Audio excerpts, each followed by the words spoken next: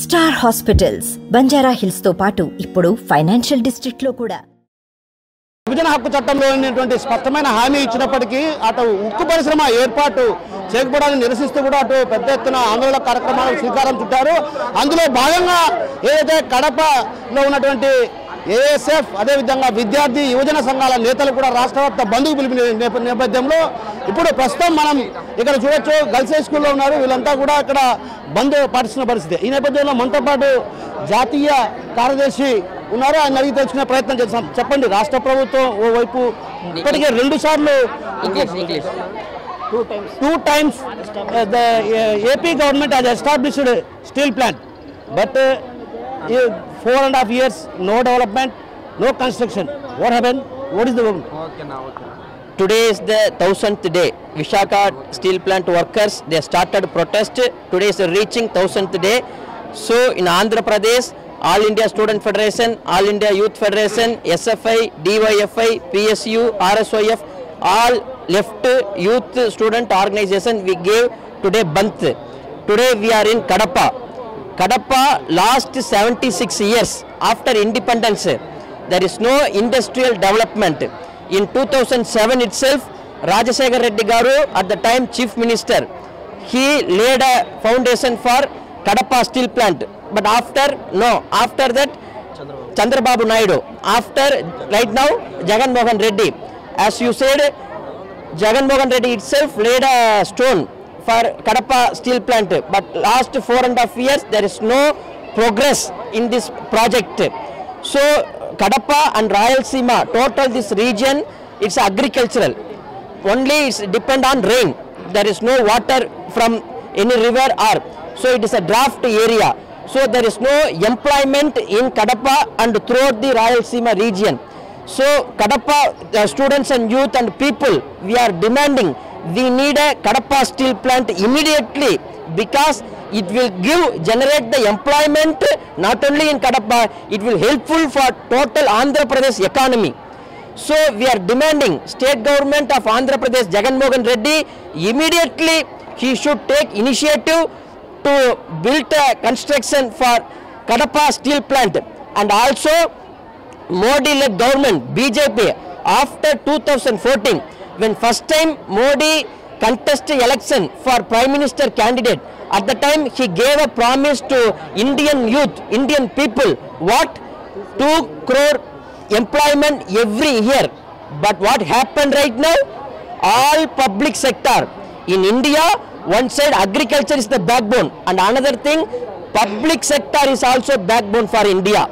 After Modi came to power all public sector Air India railway BSNL LIC all public sector right now they are handing over to the private mainly Adani Ambani today Visakha steel plant they ready to give to the Jindal company Jindal ఇస్తే Adani's company so only today Visakhapatnam steel plant workers they are started serious protest today they are reaching thousand day But even Jagan Mohan Reddy not take any initiative. It, it happened in Tamil Nadu also. In Tamil Nadu, Salem district, there is steel plant. Same union government, Modi government tried to sell to the private, but Tamil Nadu state government stopped. But here Andhra Pradesh government not stopped. Jagan Mohan Reddy is also alliance with indirectly with BJP support. So he not take care. So he betrayed the Andhra Pradesh people. So it is not good. So AISF and all student youth left organization, we are demanding not sell Vishaka steel plant to the private and also in Kadapa, immediately state government and union government should start Kadapa steel plant, uh, build a construction and it give more than 1 lakh employment to 20,000 direct employment and 1 lakh employment indirectly it will give. So Kadapa not only it will help for total Andhra Pradesh economy. So that so far we are called this month today it, overall Andhra Pradesh in all school college campuses very successfully we are holding this month. So in Rayalaseema, so many youth people are going to Gulf countries because of uh, there is no employment. So in uh, AP government, they are not established any uh, private companies or other companies. There is no development. Simply they came and kept a one stone in that uh, uh, Kopparthi area. But there is no companies or came from other states or other uh, institutions. Why? Because of uh, negligence of Jagan Mohan Reddy. Yes, I, as well as said I earlier, this is betrayed. Jagan Mohan Reddy, the, he betrayed the Andhra Pradesh people because industrial development only generate more employment. So there is no employment, the people automatically they will migrate to anywhere, to Gulf countries, to abroad, other any states, Hyderabad, Bangalore, Chennai, Delhi, anywhere.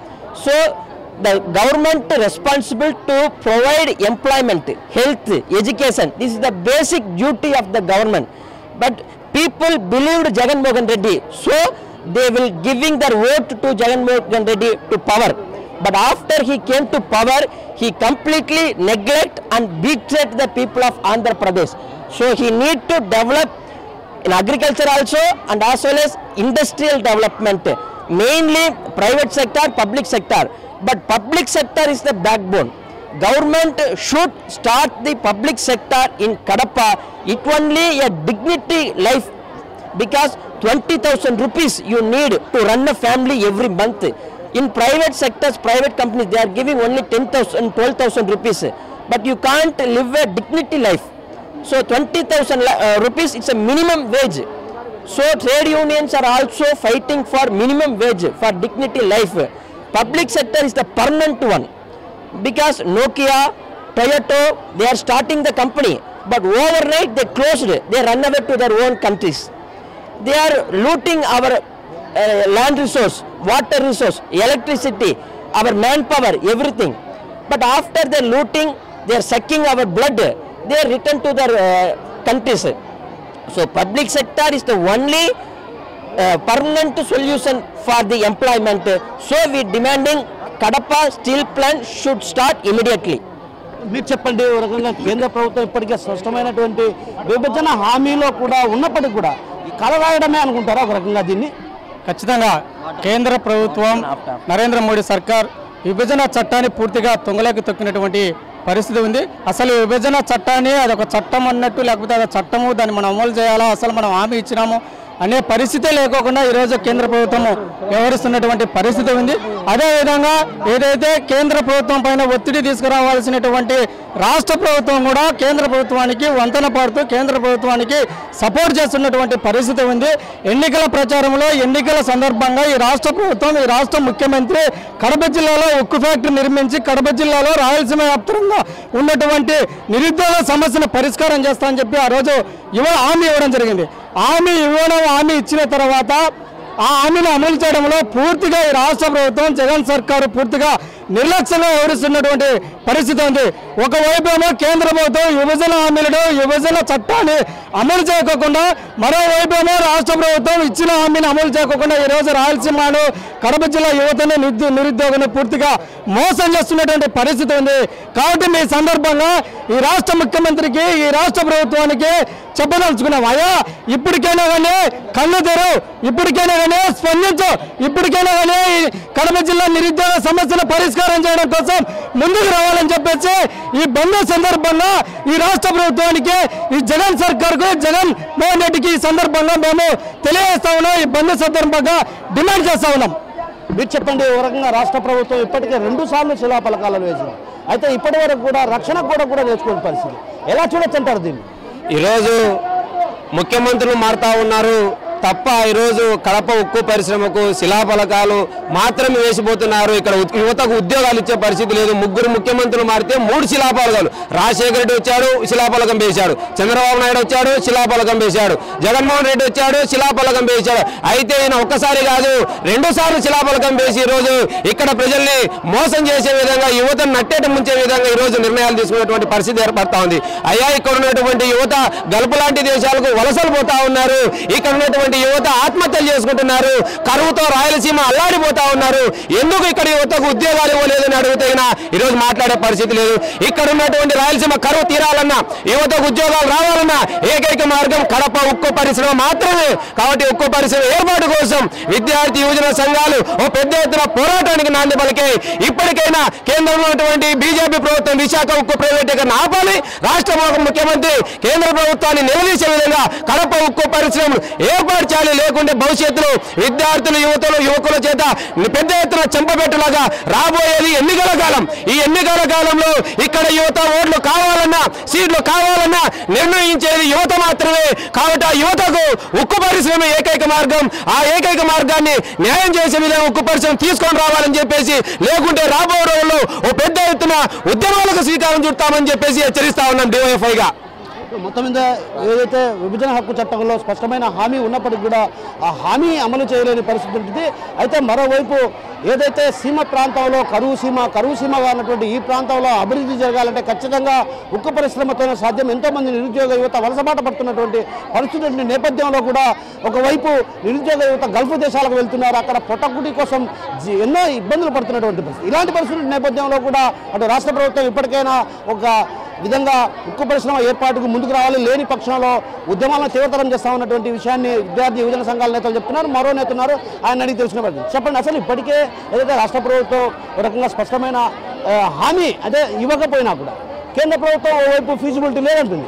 రాష్ట్ర ప్రభుత్వం మరోవైపు ఏమంటుందంటే రెండు సార్లు ఇప్పటికి శంకుస్థాపన చేసింది. ఒకవైపు శంకుస్థాపన చేసింది రెండు వేల తొమ్మిదిలో ఒకసారి రెండు వేల పదమూడులో ఒకసారి. ఇలా రెండు సార్లు శంకుస్థాపన చేసింది. మరోవైపు జిందాల్ సంస్థ వచ్చేసి ఇక్కడ ఉక్కు పరిశ్రమ ఏర్పాటుకు కూడా ఆ సంస్థకు సంబంధించినటువంటి ప్రతినిధులు కూడా రావడం జరిగింది వెళ్తుండడం జరిగింది.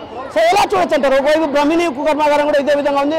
ఆ బ్రహ్మిణి ఉక్కు కర్మాగారాన్ని ఏదైతే లోన్ తీసుకొని ఆ తర్వాత పారిపోయిన పరిస్థితి. ఇలాంటి పరిస్థితుల నేపథ్యంలో జిందాల్ పరిశ్రమ కూడా ఇదే విధమైన తరహాలో వ్యవహరిస్తుందని భావిస్తున్నారా? ఈరోజు కాంగ్రెస్ పార్టీ అధికారంలో ఉన్న సందర్భంలోనే పార్లమెంట్ సాక్షిగా కడప జిల్లాలో స్టీల్ ప్లాంట్ ఏర్పాటు చేస్తామని చెప్పేసి మనకు హామీ ఇవ్వడం జరిగింది. అది చట్టం చేయబడింది. ఆ సందర్భంలో ఇప్పుడు అధికారంలో ఉన్నటువంటి బీజేపీ ప్రభుత్వం బీజేపీ కూడా రోజు పార్లమెంట్లో ఉన్నటువంటి పరిస్థితి. ఈరోజు కడప జిల్లాలో స్టీల్ ప్లాంట్ ఏర్పాటు చేస్తాం ప్రభుత్వ రంగంలో అని చెప్పి చెప్పిన సందర్భంలో అక్కడ పార్లమెంట్లో బీజేపీ ప్రభుత్వం బీజేపీ పార్టీ మద్దతు ఇచ్చింది. అలాంటి బీజేపీ పార్టీ ఈరోజు ఫీజిబిలిటీ లేదని చెప్పేసి అధికారంలోకి వచ్చిన సందర్భంగా మాట మార్చింది. దీన్ని మనం ఏ విధంగా చూడాలి? ఈరోజు కేవలం కార్పొరేట్ శక్తులకు ప్రభుత్వ రంగ సంస్థను కట్టబెట్టే విధానంలో భాగమే ఈరోజు కడప కడప జిల్లాలో స్టీల్ ప్లాంట్ ఏర్పాటు చేయమని చెప్పేసి ఈ ప్రభుత్వం చెప్తా ఉంది. అంతేకాదు ఈరోజు విశాఖ స్టీల్ ప్లాంట్ చూసుకున్నట్లయితే ఈరోజు కేవలం నష్టాలు నడుస్తున్న ఒకే ఒక ఉద్దేశంతో ఈరోజు ప్రైవేట్ వ్యక్తులకు అప్పచెప్తామని చెప్పేసి బీజేపీ ప్రభుత్వం చెప్తా ఉంది. అంటే కరోనా సమయంలో కార్పొరేట్ సంస్థలు ఈరోజు అప్పుల్లో ఉన్నాయని చెప్పేసి వాటి అప్పులను మాఫీ చేసినటువంటి ఇదే బీజేపీ ప్రభుత్వం ప్రభుత్వ రంగంలో నడిచేటువంటి స్టీల్ ప్లాంట్ యొక్క అప్పులను ఎందుకు మాఫీ చేయమని చెప్పేసి ఈ సందర్భంగా మేము అడుగుతా ఉన్నాం. ఈ విధంగా ఈ ఈ ప్రాంతంలో చదివేటువంటి నిరుద్యోగ యువత ఈరోజు విదేశాలకు వలసిపోతున్నటువంటి పరిస్థితి ఉపాధి అవకాశాలు లేక మరో కొంతమంది యువత ఆత్మహత్యలు చేసుకున్నటువంటి పరిస్థితి ఉంది. అలాంటి తరుణంలో ఈ రాయలసీమలో ఈ చదువుకున్నటువంటి విద్యార్థుల యొక్క యువతకి ఉపాధి కల్పించాలంటే ఈరోజు స్టీల్ ప్లాంట్ ఏకైక మార్గం అని చెప్పేసి ఈరోజు విద్యార్థి విజయ సంఘాల ఆధ్వర్యంలో పెద్ద ఎత్తున ఆందోళన చేపడతాను అందులో భాగంగానే ఈరోజు విద్యాసంస్థల బంద్కు రాష్ట్ర వ్యాప్తంగా పిలుపునివ్వడం జరుగుతుంది. ఈరోజు విద్యార్థులందరూ కూడా స్పష్ట స్వచ్ఛందంగా ఈరోజు బంద్కు మద్దతు ఇచ్చినటువంటి పరిస్థితి ఈరోజు మంచి జిల్లాలో ఉంది. సో మొత్తం మీద ఏదైతే జిందాల్ పరిశ్రమ కూడా బ్రహ్మిణి ఉక్కు కర్మాగారం బాటలో నడిచే పరిస్థితి ఉంది. అయితే ఈ నేపథ్యంలో రాష్ట్ర ప్రభుత్వం స్పష్టమైనటువంటి ఏదైతే కేంద్ర ప్రభుత్వం పైన ఒత్తిడి తేవాలి ఒత్తిడి తెచ్చి కేంద్ర ప్రభుత్వం ఆధ్వర్యంలోనే ఏదైతే ఉక్కు పరిశ్రమను ఏర్పాటు చేయాలన్నటువంటి భావన అటు విద్యార్థి సంఘాల నేతలు చెప్తున్నారు. కరీంతో కిషోర్ ఆర్టీవీ కడప నుంచి. మరిన్ని వీడియోస్ కోసం ఛానల్ సబ్స్క్రైబ్ చేయండి. లేటెస్ట్ అప్డేట్స్ కోసం వాట్సాప్ ఛానల్ని ఫాలో చేయండి. అండ్ లింక్ డిస్క్రిప్షన్లో ఉంది.